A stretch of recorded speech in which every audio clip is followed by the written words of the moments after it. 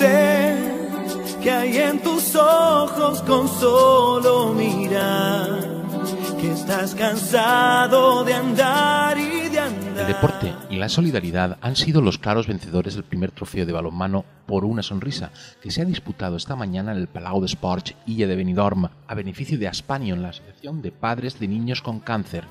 El Benidorm B cayó ante el Agustinos de Alicante con un marcador de 26 a 27. Una pena, porque los nuestros fueron por delante prácticamente todo el tiempo. Vale la pena una vez más saber. Rafa Lomana, showman y aventurero. Paco Torreblanca, repostero de fama internacional.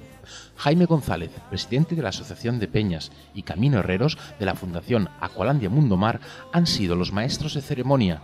A este elenco hay que añadir al nutrido grupo de colaboradores de Aspanion que daban a conocer a los asistentes los servicios que presta la asociación.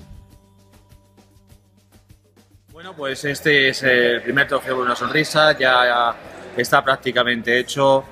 Eh, la verdad es que estamos enormemente contentos de la, eh, de la respuesta del pueblo de Benidorm. Eh, importante también la entrega del trofeo Alejandro Morcuende, porque para nosotros es una cosa eh, un poco visceral. Y da igual quien gane, quien pierda el partido, hemos ganado todos, han ganado nuestros niños. Y bueno, pues eh, esperemos que en la segunda edición, en vez de dos equipos, puedan ser cuatro y en vez del Palau necesitemos la Plaza de Toros.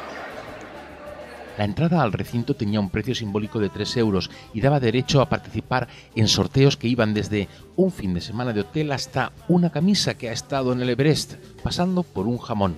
Ningún niño asistente se quedó sin su regalo. Al finalizar el encuentro se hizo entrega del primer trofeo a Alejandro Morcuende.